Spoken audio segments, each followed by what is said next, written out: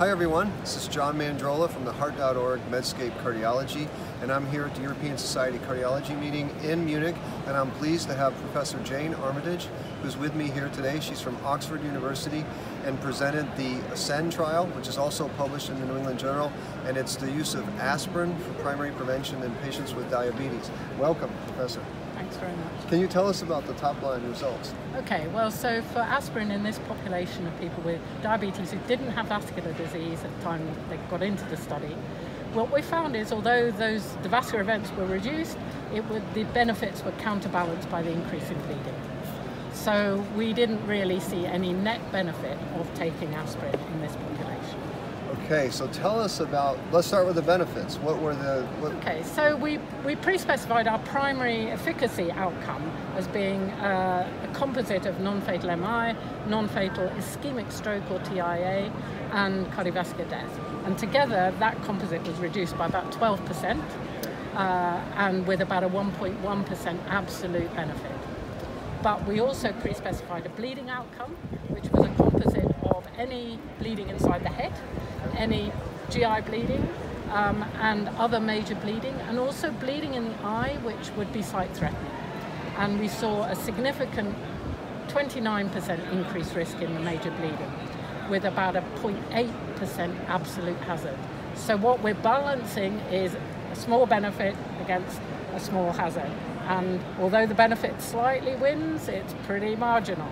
Okay. So when I first looked at this, I thought to myself, more aspirin trials. Don't we have a lot of aspirin trials? Why is this a big deal?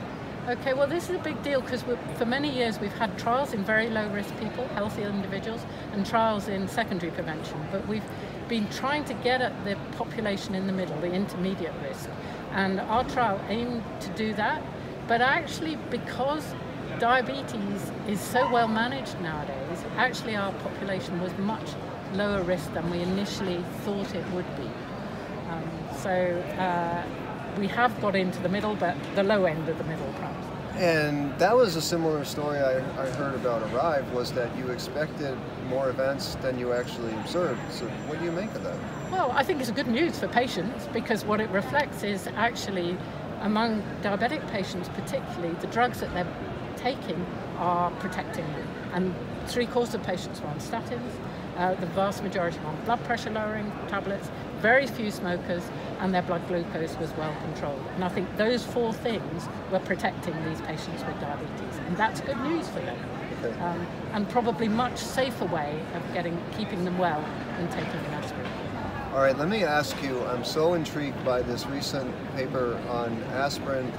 Perhaps there's a heterogeneous treatment effect that aspirin is more beneficial for smaller people and less beneficial. What do you think?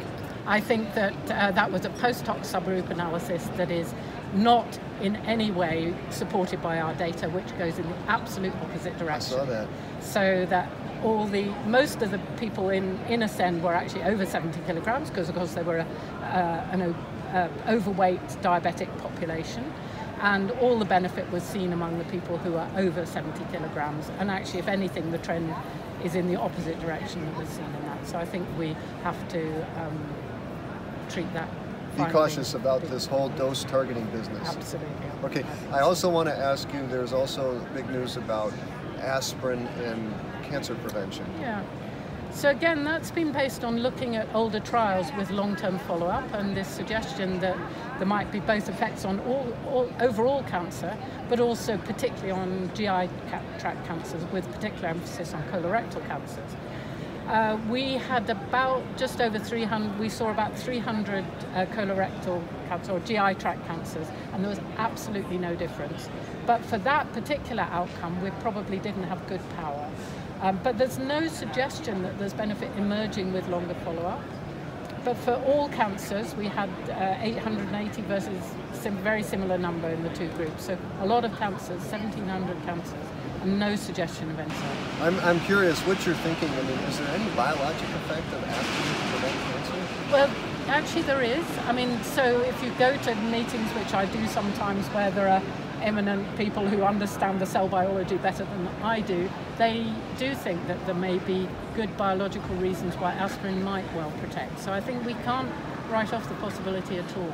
But you know, the prospective data that, you know, this is a good test of the sort of overall high, cancer hypothesis, and we really don't see any suggestion that it's the case. Final question. Uh, let's uh, let's say you're a 50, I'm a 55 year old diabetic with high blood pressure, and I ask you, should I take aspirin? I'd What's say make sure you take your statins and your blood pressure lowering, and you keep your glucose under control, and not smoke, and then I I think that the benefits of aspirin will not outweigh the risks, and that you might cause yourself a nasty bleed if you were to do that, and not really much protection. Excellent. Thank you so much for being with us. I really appreciate it. Pleasure.